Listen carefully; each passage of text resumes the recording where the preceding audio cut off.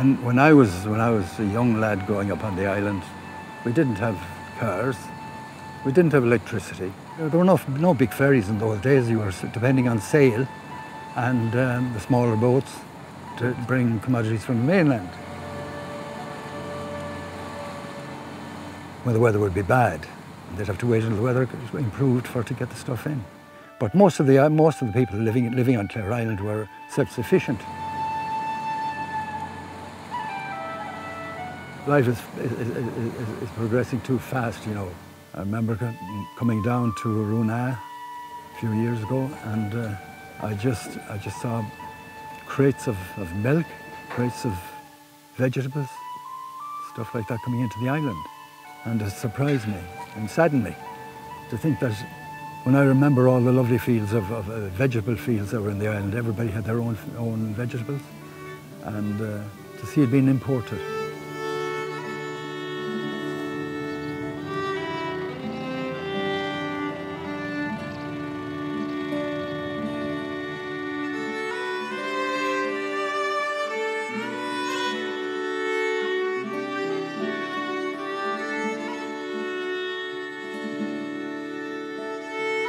There was a great community spirit here then. Every household had a, had a pig because they shared, they shared the, the, the meat as, as, when they killed the, the pig, passed it on to the neighbours and when they killed they did, the, did likewise. And uh, all, they kept fresh meat, in other words, through part of the winter.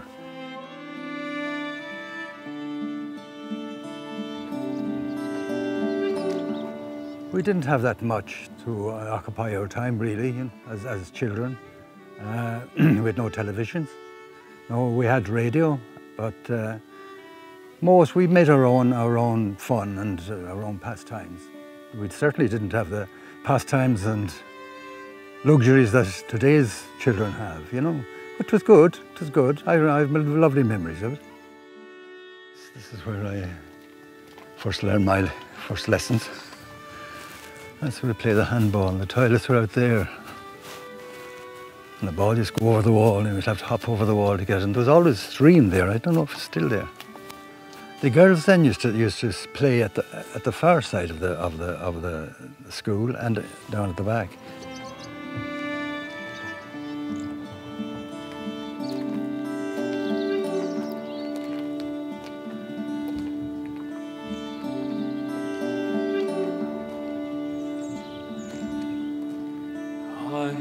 Dreamt it last night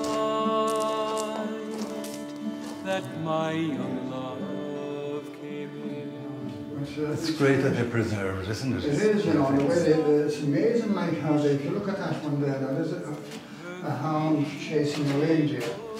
Come back here, you look at it from here and you see it from yes, here. Yes, yes, I, saw, I, I noticed it's, that. It's so, the lines of the reindeer are so...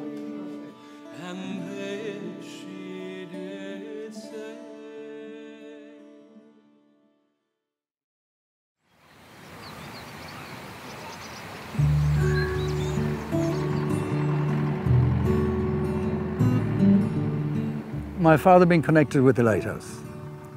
And his father before him, it went back three, three generations, four. And then I suppose it was uh, natural for me to be, I liked, I became very acquainted with the lighthouse keepers and we were great friends. And uh, that's how I think I adapted to, to the life. I was young, I suppose, and full of, you know, full of the vigour of youth at that time. And uh, the Lighthouse Service was a very well respected um, service at that time.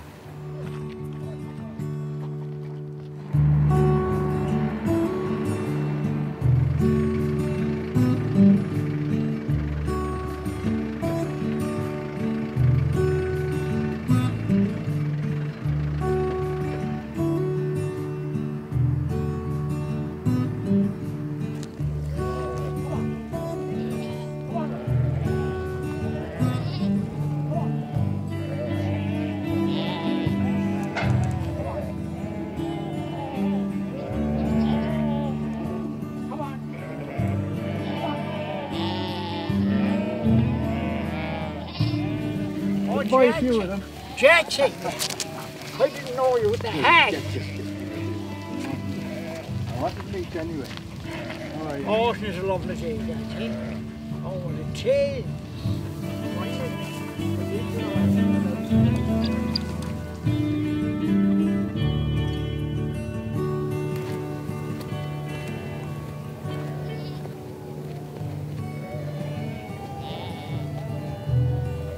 I wouldn't say it was adventure. Uh, it was interesting. But um, there was a lot of isolation there. You were in, of course, lighthouses had to be built in isolated spots, you know, and on cliff tops and all that. It, some would say it was a lonely life, but uh, every lighthouse keeper, I, I've, I don't know of any lighthouse keeper that complained too much about of, of loneliness. I read and I, I had to did a bit of woodworking. But um, I was lucky because I, I, got some, some very nice stations. I got uh, stations that you could, where you could be, you had a social life, you know, island stations. And uh, although I did have severe rock stations and I was isolated for many, many weeks on some of them,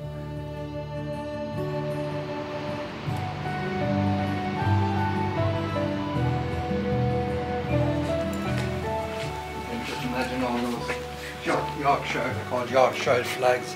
And they're, of course, not now, but they all had to be transported into the island, you know.